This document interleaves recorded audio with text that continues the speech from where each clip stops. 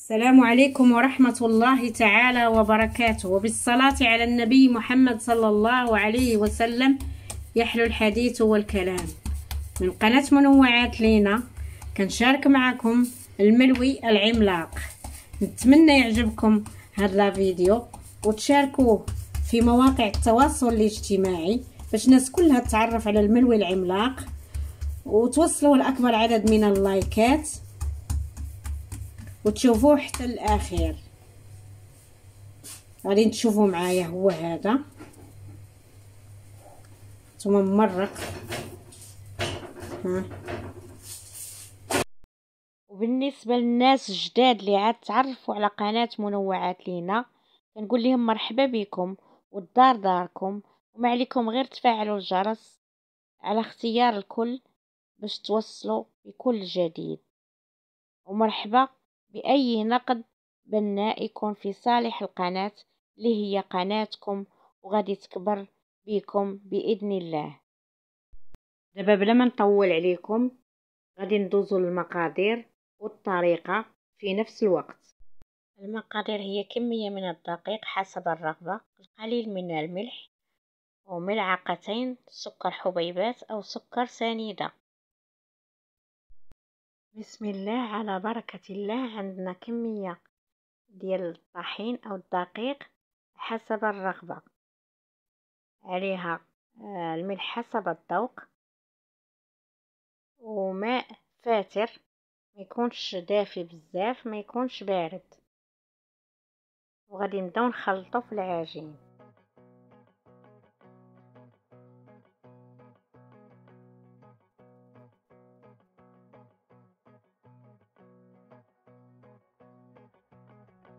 كنخلطو بهذا الشكل هذا كما كتشوفوا آه كب الماء بيد نخلط باليد الأخرى. نبدا نجمع في العجين.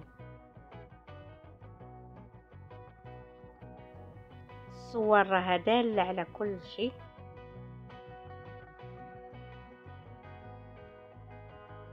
نبقى نخلط حتى تجمع ليا العجين بهذا الشكل اللي كتشوفوا هنا عندنا كمية كبيرة حسب الأفراد كل واحد حسب الرغبة. إما يقلل الكمية إما يضاعفها.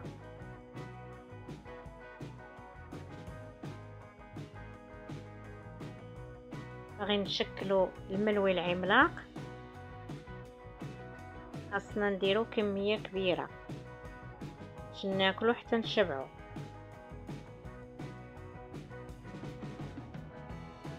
هذه هي العملية ديال العجينة. خاصو يترخف وتكون العجينة رطبة.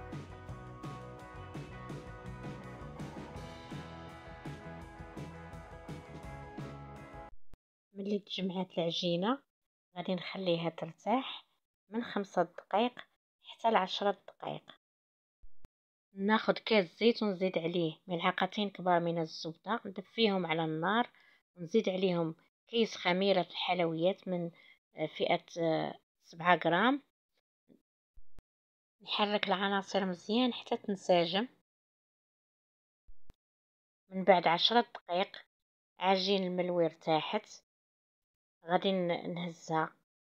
ونحطها فوق سطح العمل. بهذا الشكل هذا هذه هي العجين فوق سطح العمل. غادي نبدأ ناخذ منها قطع الملوي حسب الرغبة. حسب الحجم اللي باغا. أنا كناخد قطع كبار لأن الملوي عملاق أو حجم كبير. كنلولبهم هكا بهذا الشكل هذا فوق سطح العمل. غادي نعاود معكم الطريقة.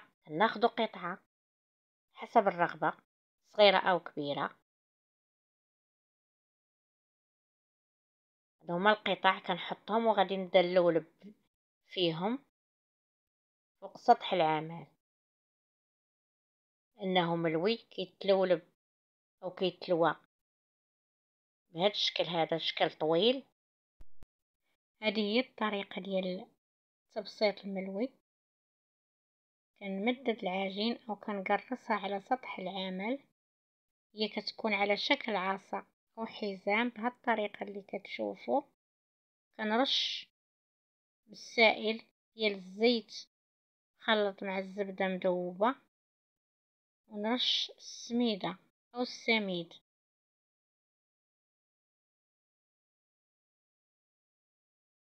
دائما الطريقة واضحة في الفيديو وكنلوي بهذا الشكل اللي كتشوفوا كنزيد نكمل تبسيط العجينة باش نكمل الملوية غادي نخليكم مع هاد الطريقة ما نبقاش نتكلم كثير الملاحظة راها مهمة.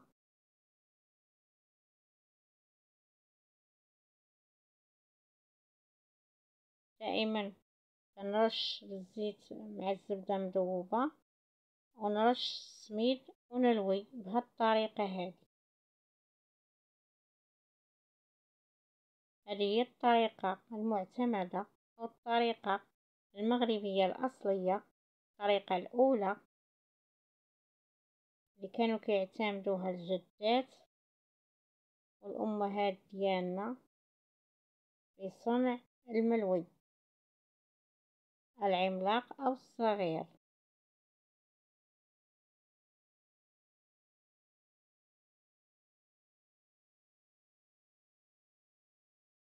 هي الطريقة اللي غادي تكون في الملويات كلهم اللي عندي أو الكمية كاملة ديال الملوي.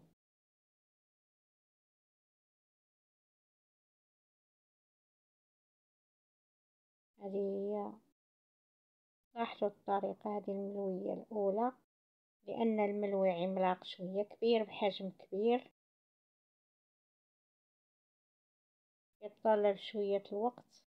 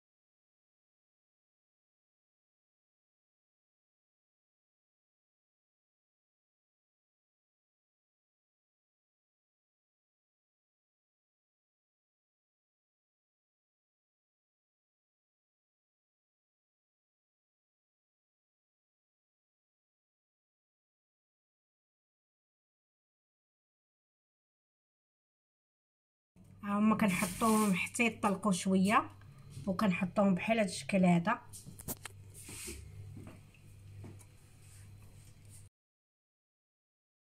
هذه ها هي غادي تقاد هكا.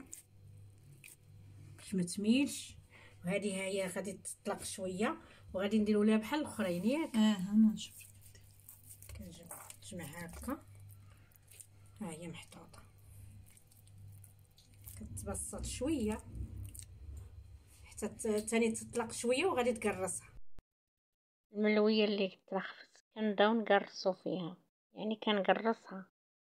كما كتشوفوا في لا فيديو. والأخرين غنخليهم حتى يترخفوا كنبسطوهم شوية فوق سطح العمل. ونخليهم حتى يترخفوا على نبداو نقرصو. هاد الأولى بدينا اللي ترخفات بدينا كنقرصو فيها.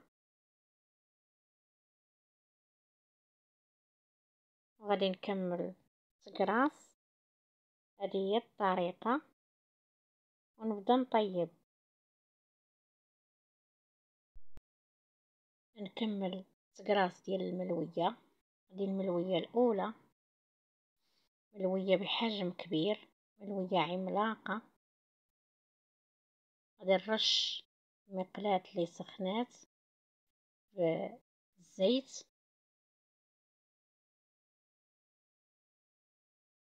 للأسف ما كانش لي كيشد ليا التليفون ما صورتش اللقطة فاش حطيت آه، الملوية في المقلاة.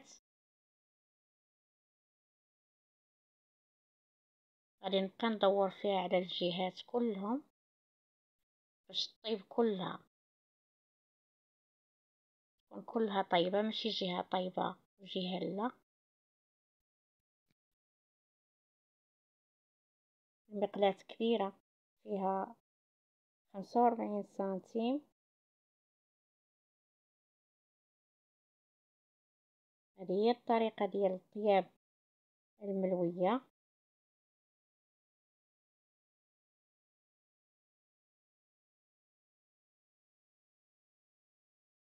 تشوفوا ملي قلبتها. هي بدات كطيب قلبتها على الوجه الآخر. غادي نعاود نقلبها. باش تزيد تكمل الطياب